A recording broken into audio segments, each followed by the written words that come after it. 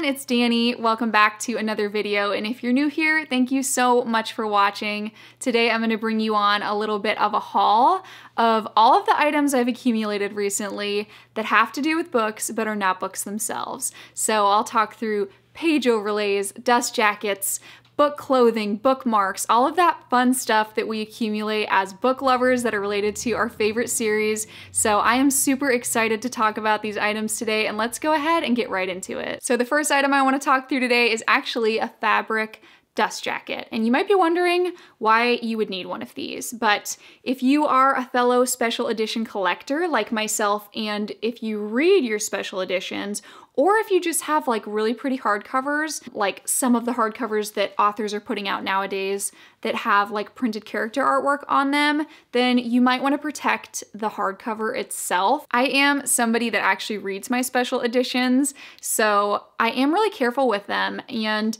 I make sure not to scratch them or scuff them and I don't like hold straight on to the gold foiling or the sprayed edges while I'm reading. Like I'm really careful about that, but inevitably if there is gold foiling on a hardcover, if you get your finger oils on them, there is a chance that it could get removed. And I have had that happen just barely on one of my books. And ever since then, I have started using a fabric dust jacket.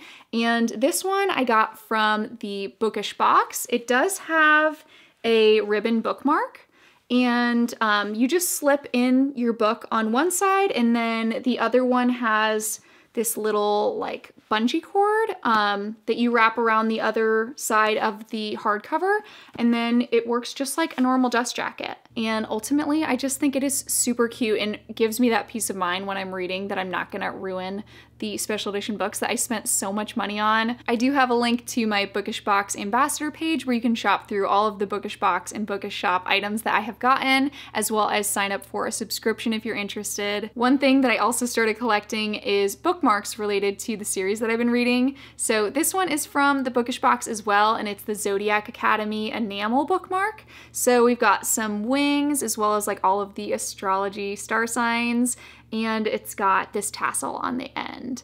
I think it's super cute and very excited to have this once I start my read of the Zodiac Academy series. And the last item that I got from the bookish box is actually the shirt that I'm wearing. So I will get a little bit higher so that you can see it, but it says Smutland. It says Smutty Reads Wild Rides. So kind of looks like a roller coaster. I just thought that was so funny. I liked it so much that I got a matching one for my best friend. I had always been a reader, but me and my friend had kind of just recently gotten into smutty romantasy and contemporary romance, dark romance reads. So I'm all here for it and I'm loving that I can rock it on a shirt now. The next bookish accessory that I wanted to share with you is actually a book light. So you can get these a lot of places. I got mine off of Amazon. I'll link it below in case you're interested, but it just clips onto your book pages or your hardcover and then you can change the light settings so that it's a little bit easier to read. And for me, this is super, super helpful because I really like to set the mood when I read and I turn off all the overhead lighting, but that does mean that it's a little bit dim with only lamps on in the house. So this makes it a lot easier for me to read in low light settings. It does have um, a place where you can recharge it, so no batteries required, it's just rechargeable. Next, I'm gonna move into my Dusty Shop dust jackets for the ACOTAR series. So typically the hardcover dust jackets are pretty bright, so I wanted something a little bit darker, a little bit more neutral to go with the aesthetic of my bookshelves. And I think that the artwork on these ones is stunning. I will go ahead and link them down below in case you're interested. I will show all the dust jackets in the series, so if you haven't read it yet and you're worried about spoilers, you can always go ahead and skip ahead, and I have included timestamps for you to do that. Here's the dust jacket for the second book, A Court of Mist and Fury, and on this one we have some really pretty blue tones. There is foiling on like the author name and the book title on the front as well as on the spine, but the way that the artwork was done it's not foiled around here, but it almost still looks glittery. And here's the dust jacket for the third book, A Court of Wings and Ruin. Um, unpopular opinion, this is actually my favorite book in the series. I think everybody who exists always choose the second book as their favorite, but I actually liked this one the best just because it was so fast paced in my opinion. I think I just end up liking later books and series a lot because the found family vibes are so strong and that was definitely the case in A Court of Wings and Ruin. But here is the artwork for A Court of Frost and Starlight and we do get the Bat Boys on the back. And side note, um, this was a novella, not super, super essential to the plot, but it did have one of the best spicy scenes that I have ever read, in my opinion. and here is the dust jacket for the last book, A Court of Silver Flames.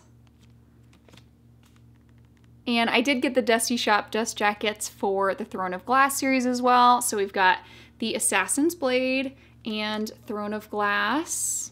Here is Crown of Midnight and Heir of Fire, and the quality of these dust jackets is seriously amazing. They are really thick and the colors just show up really beautifully. I also really like that they have switch between gold and silver foiling for the titles. That just really helps me, at least on my bookshelf, transition between the different color foilings that I have on other book series. So I typically put like all of my gold foiled ones towards the top of the bookshelf and then I've transitioned with these books down into silver foiled books on the bottom half. And lastly, we have Tower of Dawn and Kingdom of Ash. So if you are looking for these dust jackets, they don't always have them in stock, but if you follow the Dusty Shop on Instagram, you can stay informed and they'll always notify everyone once they're planning a restock. The last book related items that I want to share with you are actually page overlays from the reading portal. So I have these for the first and second ACOTAR books, as well as the Cruel Prince series and the first From Blood and Ash book. So I will, of course, include timestamps so you can skip ahead if you're worried about spoilers of any of those series if you haven't read them. If you're not familiar with page overlays, these are actually artwork that corresponds with different scenes in the book that you can slip in and follow along with as you read. Here's Feyre and Tamlin. And Reading Portal does let you specify which specific book size you have so that the overlays fit in perfectly and we have Feyre and Rhys striking a bargain. And now moving into the page overlays for A Court of Mist and Fury, we've got the wedding scene and the inner circle. I actually didn't even know these page overlays existed until my friend got them for me for my birthday last year. Now that I know about them though, I definitely keep an eye on them to see if they release any of the other series that I like. And I will tell you, these overlays definitely do improve the reading experience. Here we have the infamous throne room scene. And I think this is my favorite overlay. It's Feyre and Rhys on Starfall. We have the Suriel. And of course, we got the paint scene, so super excited we got a spicy overlay. And lastly, we have Nesta in the cauldron. I'm not gonna lie, when I read this, I definitely thought Nesta had flipped off the King of Hybern. I guess they didn't explicitly say that, but I just didn't expect it that she was truly just pointing. I definitely thought she gave him the bird. and next we have page overlays for my personal favorite series from Blood and Ash. So for the first overlay, we have the red pearl scene.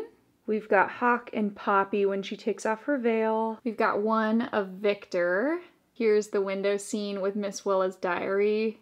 Here's the kiss under the willow. And finally, the last overlay, which is probably my favorite. The last set of Reading Portal page overlays I have to show you is actually for the Cruel Prince series, and I don't have books for these right now. I got the size that was going to fit the Lit Joy Crate special editions, which they just did a second print of. Um, I think the pre-order is actually currently open, so I will link that down below so that you can get your hands on the second print run.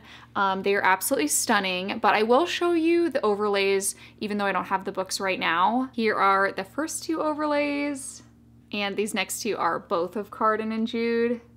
And here's the last overlay for book one. So that concludes my little haul of all the book related items that I've recently gotten. Once again, I have linked them all down below. And if you've picked up any recent bookish or book related items, leave a comment down below and let me know what your favorites are. If you enjoyed this video, please go ahead and like and subscribe to stay tuned for my upcoming special edition hauls as well as my monthly wrap ups. But that's all for today. I'll see you in the next chapter.